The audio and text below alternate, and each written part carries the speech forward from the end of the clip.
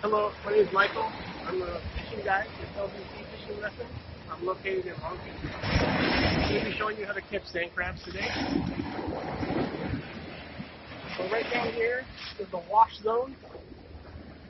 You can see all along the rocks, their eyes are sticking out, and as the water washes over the top of them, they butt in and bury. So I have a little strainer. As the water washes up, the wave, the and washes up. I'm gonna dig my hand and throw them into the strainer and catch them that way. Just waiting for a big wave at this point.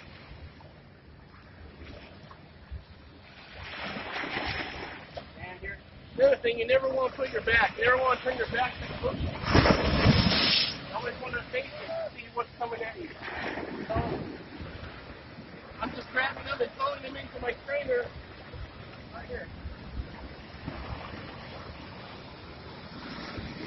Then from here, I'll just put them into my container. I'll give you a for perch, great for corbina, and other croakers. This morning we were catching leopard carcasses.